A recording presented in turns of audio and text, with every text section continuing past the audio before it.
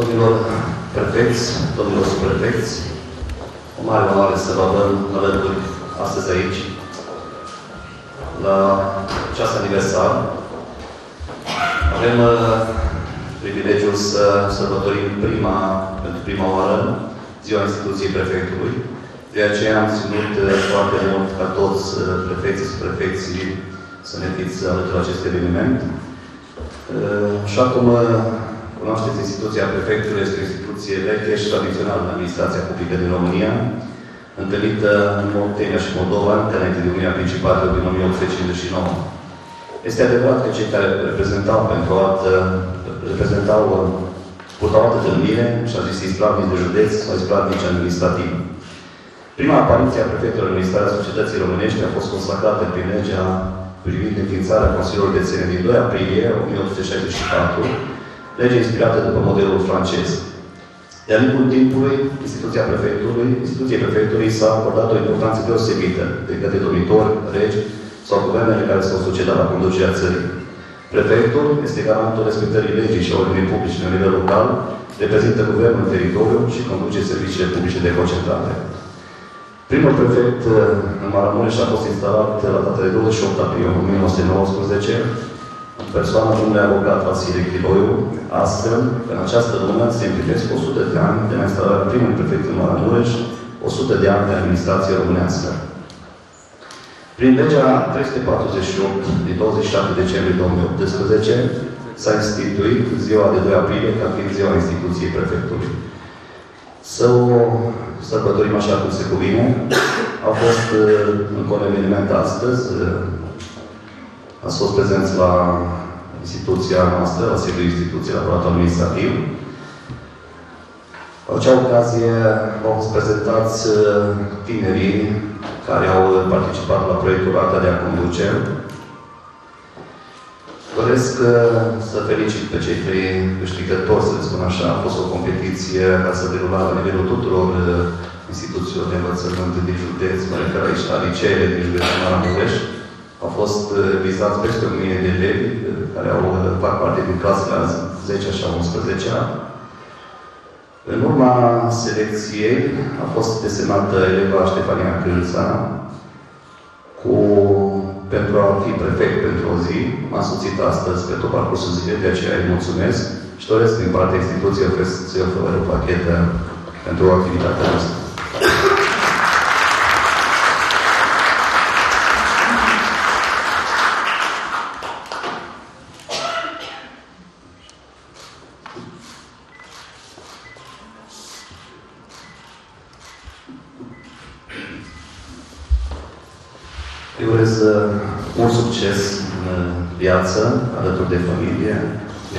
Și, de ce nu, să urmeze o carieră în administrație. Avem și un președinte Consiliului Județean pentru o zi. O să-i dau cuvântul domnului vicepreședinte Dorian Năcuș. Excelențele voastre, doamnelor și domnilor prefecți, doamnelor și domnilor subprefecți, onorat auditoriu, domnule primar al municipiului Plana Mare, stimați invitați. Este o onoare pentru mine să reprezint astăzi la acest moment aniversar instituția Consiliului Județean și permiteți-mi ca numele colegilor din Consiliul Județean, a celor cu care împărțiți cei din instituția prefectului Palatul Administrativ, să vă adresez un cuvânt de la mulți ani, urarea de la mulți ani și să avem împreună cât mai multe succese înspre binele locuitorilor județului Maramureș. Este un moment uh, în care trebuie să ne aducem aminte de cei care au făcut ca această instituție să fie considerată o instituție emblematică a județului Maramureș, o instituție care pune mai presus de toate legea și aplică legea atunci când cei din administrația locală au anumite derapaje, fie că vorbim de anumite hotărâri de Consiliul Local sau acte, alte acte administrative. Vreau să vă felicit pentru că, cel puțin în uh, ultimii 28 de ani, 29 de ani, această instituție s-a bucurat cu adevărat de simpatia maramureșenilor, și nu a fost măcinată de scandaluri sau știu eu, alte lucruri care au fost, trebuie să recunoaștem, de multe ori în alte instituții publice.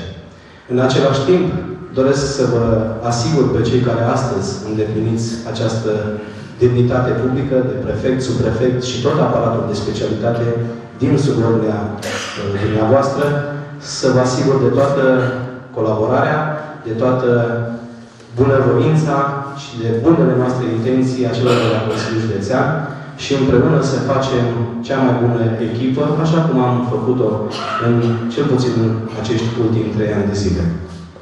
Și dacă suntem la acest moment aniversar și am uh, cumulat într-un fel sau altul și această acțiune demarată în parteneriat de instituțiile noastre cu Inspectoratul Școlar Județean și cu alte instituții publice, permiteți-mi ca și numele Consiliului Județean, a președintelui Consiliului Județean și a tuturor celor din subordinea noastră, să ofer și eu o plachetă în semn de apreciere și de recunoștință, dacă vreți, pentru eforturile pe care Doru Denis Lazar le-a făcut în această zi și și nu numai în această zi, pentru că până ce se ajungă aici, el a câștigat o rundă de uh, alegeri, dacă vreți, alegeri într-un sistem mai, mult mai democratic, probabil, decât cel pe care l-am parcurs noi până ce am ajuns aici.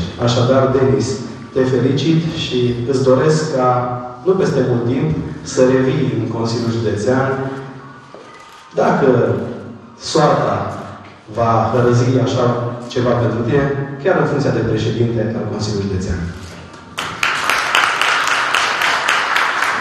Excelența voastră, domnule prefect Vasile Moldovan, domnule subprefect Alexandru Cosma, doamnă prefect, doamnă subprefect, domnilor prefecți și subprefecți, vă felicit din tot sufletul pentru aniversarea centenarului instituției prefectului în județul Maramureș. Fără îndoială, prin înalta funcție pe care ați ocupat-o, ați scris istorie și o istorie valoroasă pentru județul Maramureș. Vă felicit, vă mulțumesc că fiecare parte și toți împreună ați înțeles că este importantă educația și ați fost pentru învățământ partener educațional important și un mare susținător. Și actuala instituția prefectului prin cele două personalități nu face decât să continue și să ridice pe noi trepte această colaborare. Un exemplu al acestei colaborări este proiectul educațional pe care l-am derulat astăzi, Arta de a conduce, prefect pentru o zi, președinte de Consiliul Județean pentru o zi și inspector școlar general pentru o zi.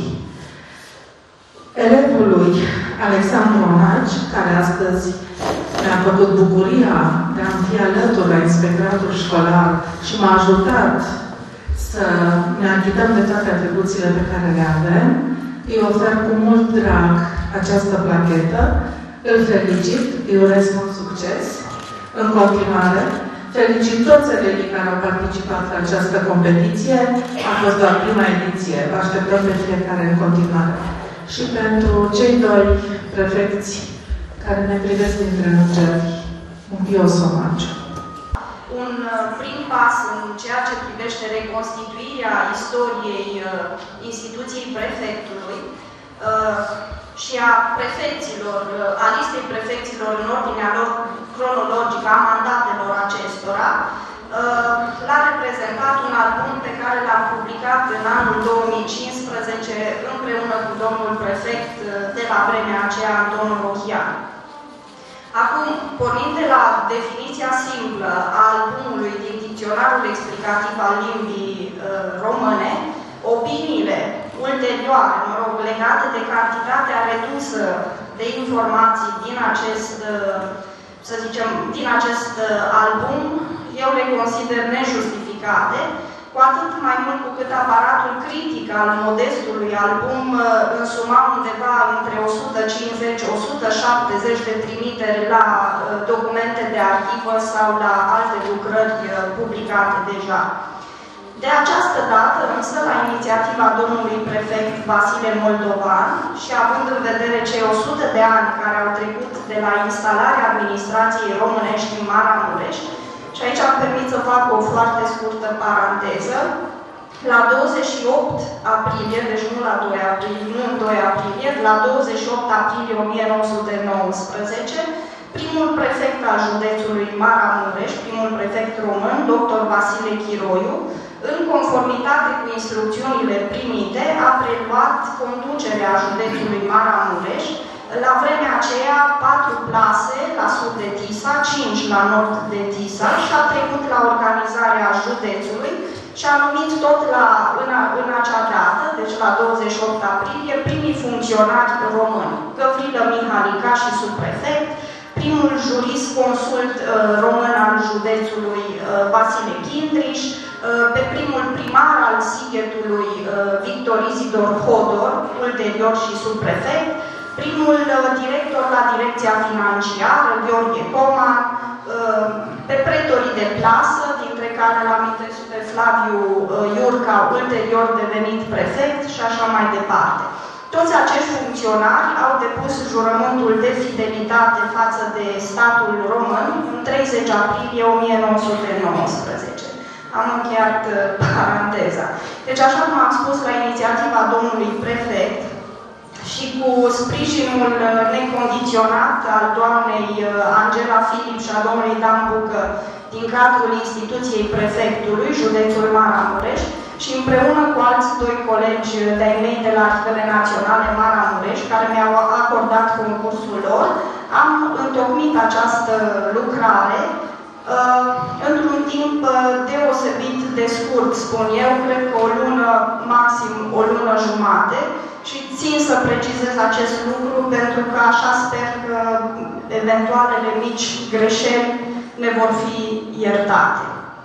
Referitor la structura, la structura acestei lucrări, uh, cartea debutează cu o listă a prefecților județului Maramureș, cu o mențiune pe care o să o regăsiți și în lucrare. Această listă îi cuprinde pe prefecții numiți în funcție de Guvernul Român, prin alt decret regal, prin decizie sau prin hotărâre de guvern, chiar dacă unii dintre aceștia nu și-au exercitat, să zicem, prerogativele. Un exemplu în acest sens este colonelul Leonard Mociulski, care a refuzat funcția de prefect, dar a fost numit în această calitate, sau în anul 1944, Vasile Lazăr, care este numit uh, prefect prin un alt decret regal, dar nu poate să-și uh, exercite prerogativele datorită faptului că în acea perioadă uh, administrația era condusă de către secesionistul ucrainean Ivan Udoviciuc și de subprefectul Teodor Bocodei, instalați cu concursul sovietic, Uh, de asemenea, tot din acest considerent, nu i-am, uh, nu i-am cuprins în listă pe Vasile Chindriș, uh, care nu a fost prefect, el a fost președintele Consiliului Național Român din Maramureș în 1918 și nici pe Petre Mihali în 1944, de asemenea președinte al Marelui Sfat Național, organizat în acest an pentru conducerea județului, după tradiția rămasă încă din 1918. Uh, un prim segment sau o primă parte a lucrării este dedicată prefecților județului Maramureș, începând cu anul 1919 până în anul 1949. Pe lângă prezentarea vieții și activității prefecților și a, și a câtorva dintre subprefecți, am inserat o serie de informații referitoare la organizarea administrativ-teritorială din epocă, informații cu privire la funcționarii prefecturii din 1919 sau uh, din a doua jumătate a anului 1920, deci după retragerea armatelor la sud de Tisa, când, după cum bine știți, Maramureșul se reduce la o, o mică parte din ceea ce reprezentase până atunci. Tot în această parte am introdus o serie de referiri la modificările legislative uh, care au avut implicații asupra instituției prefectului și asupra prefecților, legile din 1925, 1929 sau 1938 și așa mai departe. Uh, ceea ce consider că este o noutate într-o astfel de lucrare, deși referirile sunt foarte, foarte scurte, uh, ne-am oprit și asupra părților sătmărene ale actualului județ Maramureș, înglobate Comitatului Satu Mare și ulterior județului Satu Mare, uh, după cum bine știți, până la regionalizare, adică Baia Mare, Sein, Cavnic, Șoncuta și așa mai departe, amintind primul prefect al județului Satu Mare, uh, avocat dr. Alexandru Racoții Filip, care uh, a, avut și funcția de primar al orașului Baia Mare ulterior. Uh, Racoții Filip a fost înlocuit de Ice Barbul, care ocupase anterior funcția de subprefect. Tot pe scurt ne-am referit și la zona Lăpușului, înglobată în epocă Comitatului Solnoc de Băca, ulterior județului Solnoc de Băca și din 1926 județului Someș, uh, amintind primul prefect numit în persoana dr. Teodor Mihali, născut în Prislop, comuna Boiu Mare, astăzi o localitate din Maramureș. La conducerea județului Someș s-au regăsit, spre exemplu, și avocat dr. Ioan P. Olteanu, născut în Suciu de Sus, astăzi Maramureș, prefect între 1933-1934, sau preotul George Ciupe, născut în Coroieni, azi Maramureș, subprefect între 1921-1924. Firește, nu am lăsat deoparte nici localitățile maramureșene care au făcut parte din județul Sălaj, și aici l-am amintit pe primul prefect al Sălajului, dr. Gheorghe Pop, născut în Picaz, probabil, uh, în familia lui Simion Pop, originar din Oarța de Jos, astăzi Maramureș. Uh, tot în această primă parte a lucrării, uh, dedicate prefecților până în 1949, am făcut uh, precizări uh, referitoare la evenimentele din 1940-1944, când uh, evoluția administrației românești a fost întreruptă brusc, nordul Transilvaniei și implicit și Maramureșul fiind anexate Ungariei.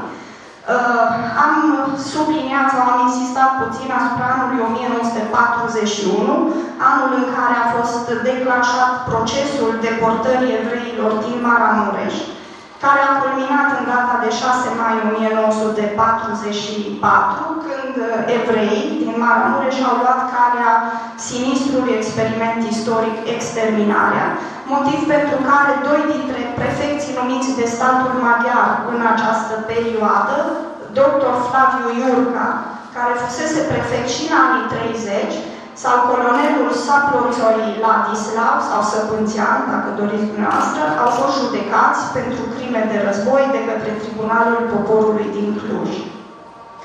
Nu lipsesc nici mențiunile legate de transformările din viața politică a României după 1947, când din considerente, adică când au fost considerate forme de reprezentare perimate ale un, unui regim învechit, Astfel, aceste organe tradiționale ale administrației uh, românești, uh, primăr, uh, și primăriile, de altfel, prefectura și preturile au fost desfințate. Cea de-a doua parte a lucrării este dedicată prefecților județului Maramureș din perioada 1990-2019,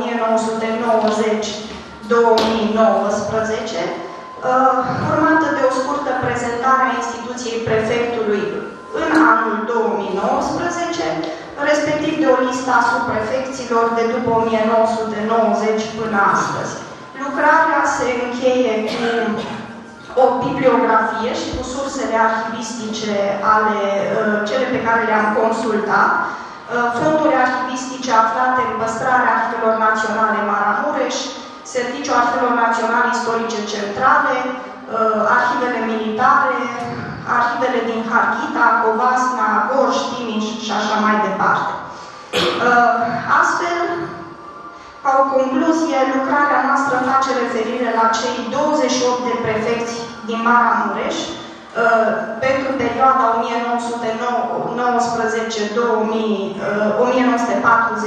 respectiv la cei 16 prefecți numiți începând cu anul 1990.